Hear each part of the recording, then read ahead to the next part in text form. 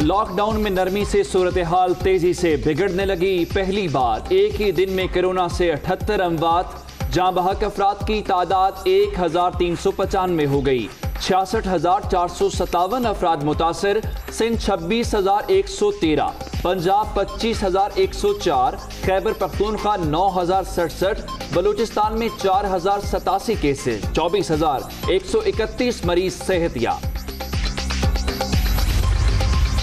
वही हुआ जिसका डर था। ईद के बाद कोरोना केसेस में रिकॉर्ड इजाफा। वायरस फैलते ही अस्पतालों में सूरत हाल परेशान कन। जगह कम पड़ने लगी। एक ही दिन में पाँच मसीहाओं की शहादत। फ्रंट लाइन पर लड़ने वालों की ज़िंदगी भी खतरे से दो चार।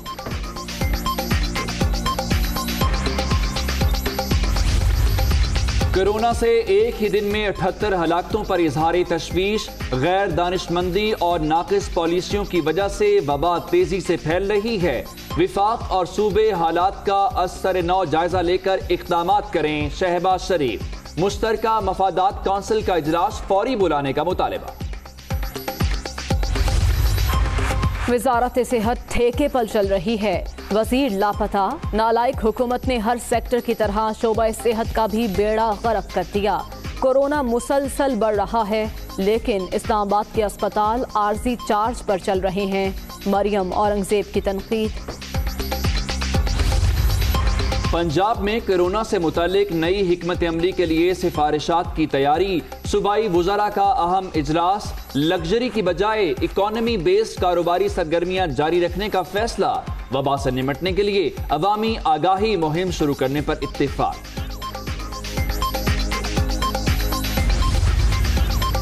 वज़ीर अला पंजाब से राजा बशारत की मुलाकात। मुल्की और सियासी सूरत हाल से मुतालिक बातचीत, कोरोना के बायस तर्ज ज़िंदगी बदल गया।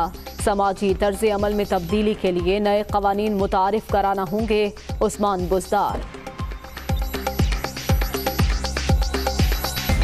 इकतीस मई के बाद लॉकडाउन सख्त होगा या नर्म? कौमी रबता कमेटी के इजलास का शेड्यूल तब्दील। बड़े फैसलों के लिए बड़ी बैठक। अब इतवार के बजाय पीर को होगी कोरोना के हवाले से हुकूमत ने बेहतरीन इंतज़ाम किए, इमरान खान।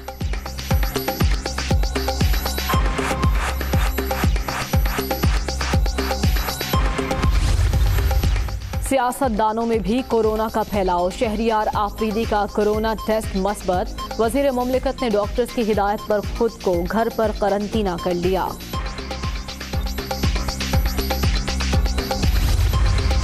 विफाकी हुकूमत ने पाकिस्तान से बैरून ममालिक के लिए एक तरफा फ़्लाइट ऑपरेशन बहाल कर दिया। मुल्क से बिला रोक टोक रवानगी, बाहर से आने वालों को खसूसी इजाज़त लेना पड़ेगी।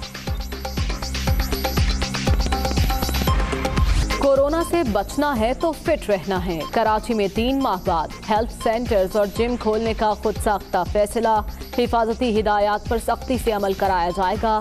हुकूमत जल्द नोटिफिकेशन जारी करे मालिकान।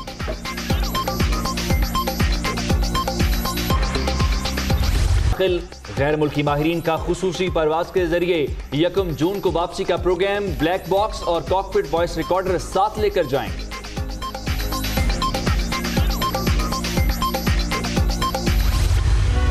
माजरे वतन का भरपूर दिफा, भारत को फिर मुँह की खाना पड़ी। पाक फौज ने एलओसी पर एक और भारतीय क्वाडकॉप्टर मार गिराया। जासूस ड्रोन 700 मीटर पाकिस्तानी हदूद में आ गया था, आईएसपीआर।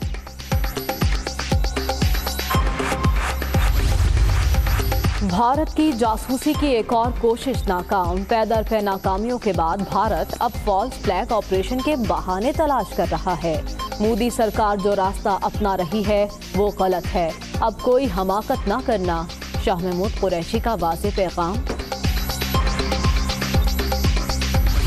टिड्डी दल ने खेत के खेत उजाड़ दिए। चारों सूबों के दर्जनों अजला बुरी तरह मुतासर। जनूबी पंजाब में आम के बागात भी उजड़ गए। भारी नुकसान पर किसान परेशान।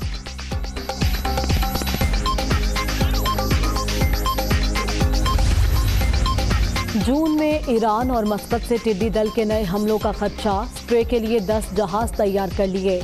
चेयरमैन एनडीएमए की प्रोग्राम दुनिया, कामरान खान के साथ में गुफ्तगू।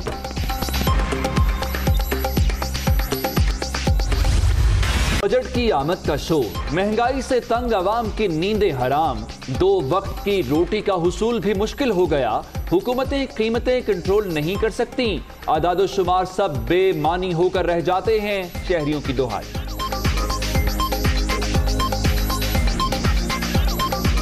बीस हज़ार में मुझे कोई अपने घर का बजट बना के दिखा दे तो मैं मान जाऊँगा। ये बनता है बड़े बड़े जो माफियाज हैं उनको नवाजने के लिए। आम आदमी यही रिलीफ चाहता है कि बजट में रिलीफ मिले आम आदमी दो वक्त की रोटी खा सके। आवाम के लिए कुछ अच्छी खबर। पेट्रोल मजीद सात रुपए छह पैसे सस्ता करने की तजवीज़। मट्टी के तेल के निर्खों में ग्यारह रुपए अठासी पैसे कमी का इम्कान। कीमतों से मुतालिक हतमी फैसला कल होगा।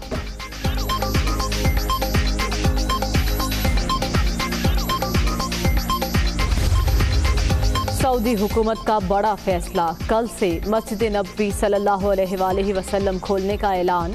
आम शहरी नमाज़ अदा कर सकेंगे। तमाम पर एहतियाती तदाबीर के साथ मस्जिद खोलने के अहकाम जारी। मुल्क के मुख्तलिफ़ इलाकों में बादल बरस पड़े। मरी और गलियात में वक्फे वक्फे से मूसलाधार बारिश का सिलसिला जारी। नदी नाले बिफर गए। फैसलाबाद में मकान की छत गिरने से तीन अफराज जाम बहक, तीन जख्मी।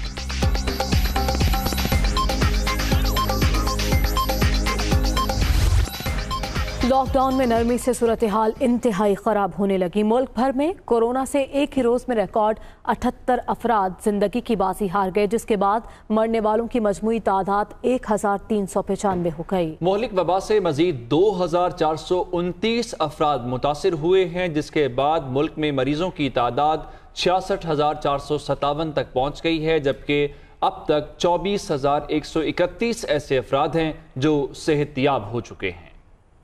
लाहौर से सोहेल कैसर और कराची से सालिया फिरोज खान हमें ज्वाइन कर चुकी हैं। सबसे पहले लाहौर का रुख करते हैं। सुहेल हमारे साथ मौजूद हैं। सुहेल बताइएगा, कारोबार की इजाज़त इन्हीं शर्तों पर मिली थी कि एहतियाती तदाबीर पर अमल किया जाएगा एस ओ पीज़ पर अमल दरामद को यकीनी बनाया जाएगा। क्या सूरत हाल देख रहे हैं आप? देखें जब ईद से पहले कारोबार खोलने की इजाज़त दी गई थी तो तमाम एस ओ पीज़ तय कर लिए गए थे और ये तय हो गया था कि दुकानदार किस, किन किन एस ओ पीज़ पर अमल करेंगे और कौन कौन से हिफाजती इकदाम उठाएँगे और जो कस्टमर्स हैं वो क्या करेंगे। लेकिन उस वक्त भी कारोबार खुलने के साथ ही ये सूरत हाल वाज हो गई थी कि आगे चल कर कारोबार जो है वो क्या रुख इख्तियार करेगा और कस्टमर्स और दुकानदारों का रवैया क्या रुख इख्तियार करेगा?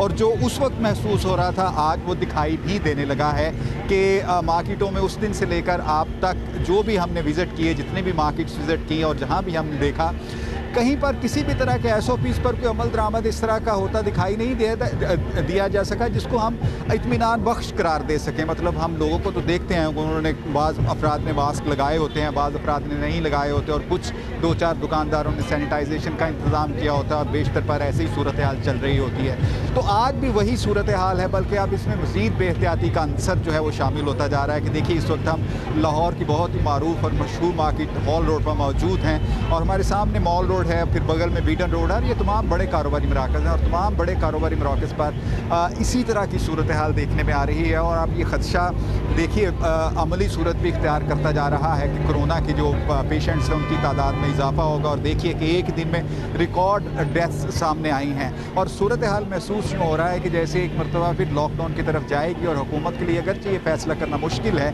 लेकिन अगर कोरोना को आ, उसका सदेबाब करना है तो यकीन उसके लिए सख्त इकदाम भी उठाने होंगे।